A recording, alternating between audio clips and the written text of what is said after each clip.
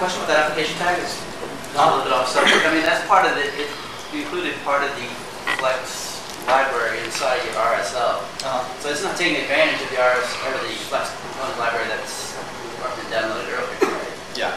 So then you're kind of getting duplicate copies of Flex Yeah. components. And initial download might be longer than it would be if it was used no RSL at all. Yeah, Right. If you're, if you're using, you know, in most libraries, um, at least for us, we, we don't have a lot of MXML in there.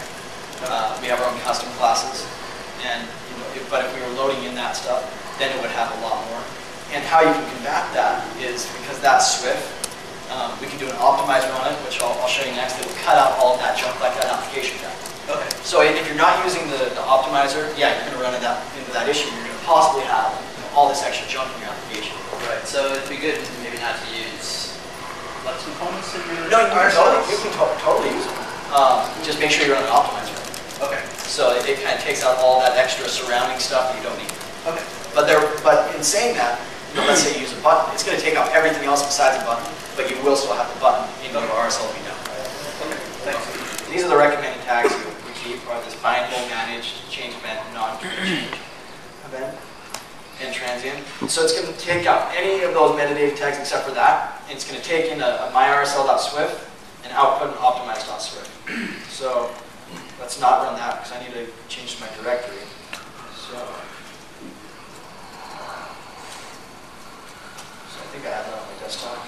Yep, I have myrsl.swf on the desktop, and its file size before optimization is 336K. So let's optimize that. Let's zoom in on that. I'll try not to make you motion sick on this one, typing. So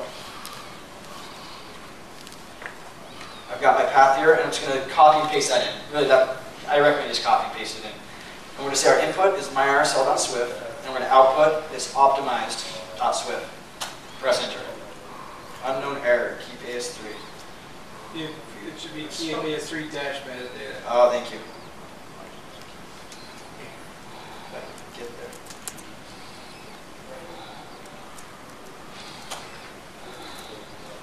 There we go. And, so right here it says, before we had 343K file size, and we just cut it down to 150K.